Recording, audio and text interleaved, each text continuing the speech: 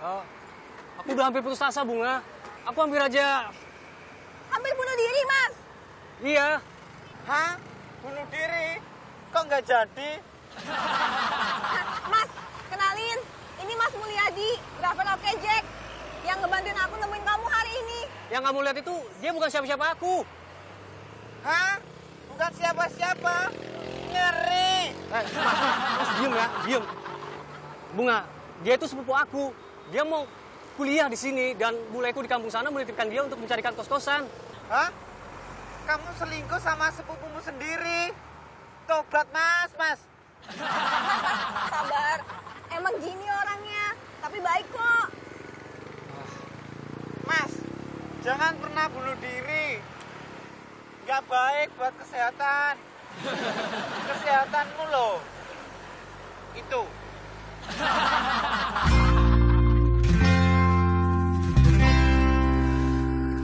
Indah ya, Mas. Aku seneng deh bisa kencan lagi sama kamu di sini. Iya, indah ya.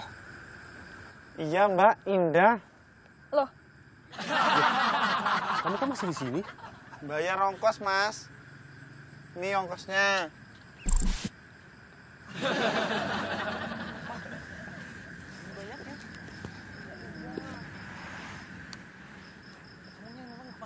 suami aku nggak selingkuh toh?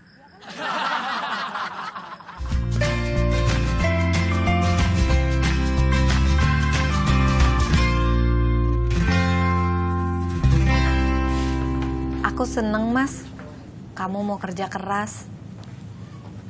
Aku juga seneng kamu ngikuti aku terus. Kerja itu kayak ada yang nemani gitu loh. Mas itu baik banget ya. Dari dulu itu nggak pernah berubah. Suka nolongin orang.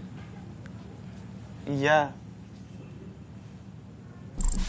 Hari ini penumpangnya cuma satu. Tapi lumayan dapat duit banyak. Alhamdulillah ya mas.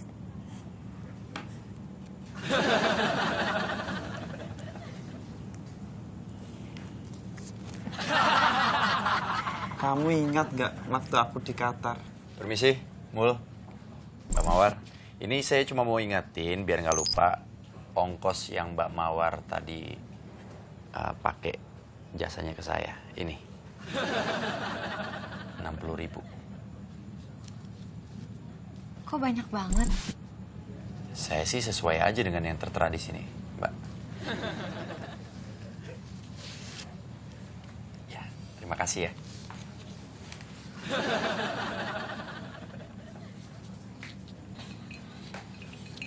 Nggak jadi mas, satu aja. Seperti yang saya bilang, orang itu ada macam-macam. Dan saya bersyukur sekali istri saya tercinta ini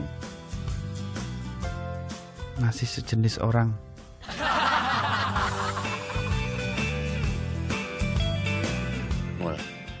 Mohon maaf nih ya, maaf banget. Tampang lu kan pas-pasan. Kok bisa sih punya istri cantik? Kamu tahu piramida di Mesir? Taj Mahal di India? Tembok besar Cina? Tahu, itu kan tujuh keajaiban dunia semuanya. Aku dan istriku itu keajaiban dunia yang kedelapan.